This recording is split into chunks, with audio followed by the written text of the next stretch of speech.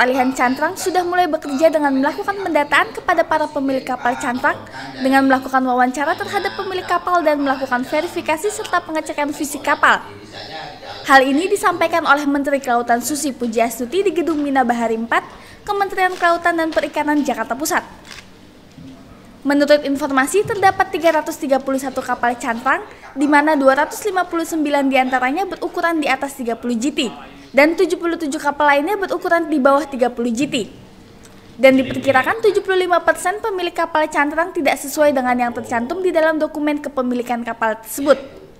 Setelah melewati proses tersebut, pemilik kapal cantrang yang telah menyanggupi pergantian alat tangkap akan diberikan surat keterangan melaut agar kapal tersebut dapat melaut kembali. Surat keterangan melaut merupakan surat resmi yang diterbitkan oleh KKP yang ditandatangani oleh Sia Bandar Perikanan dan Pengawas Perikanan.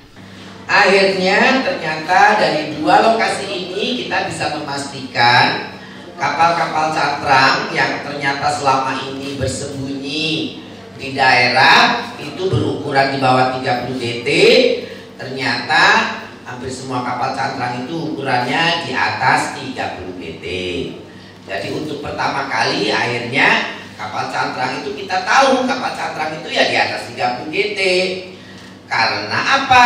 Karena dari dulu memang cantrang itu hanya diperbolehkan untuk 10 GT aturan pemerintah yang lama.